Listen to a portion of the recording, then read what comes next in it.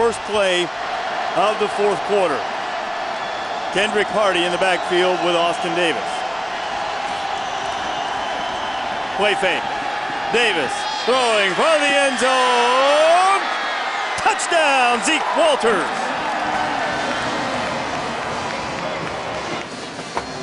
Nice throw by Austin Davis. Waits it out, gets terrific protection, throws it over the defender, but what a great reception.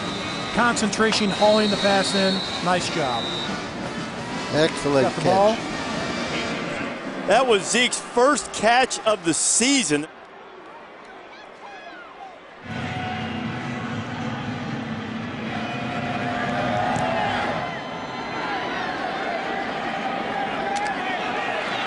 That is Jeremy Wright. Wright's got some room. Wright on his way. One man back and he won't get him. Touchdown Louisville. 95 yards. Louisville's one of the better kickoff return teams in the entire country. He got an outstanding block from number 43, Dion Rogers. That sprung Wright. Look at Rogers. Excellent job against Ratman as Ratman was trying to save the touchdown and just force him out of bounds. They have three block punts this year. Not getting close to getting that one as Philpott gets it out. And it'll roll and be stopped inside the five-yard line at about the two. And so seven seconds will remain, and Southern Mississippi will need a miracle.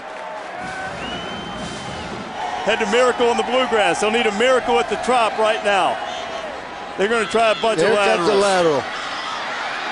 Kelvin Bolden. Better get rid of it, Kelvin. Not time for that. The game is over, and Charlie Strong and Louisville win the Beef O'Brady's Bowl St. Petersburg 31 28. Charlie still showing those quicks to get away from the Gatorade shower, and there's a giant celebration on one end of the field. This Louisville program, which has been rejuvenated by Charlie Strong, having missed the postseason the last three years. There's just so much can be built from this game as we continue to move forward. Coach, we appreciate your time. Go celebrate. Thank you, Ron.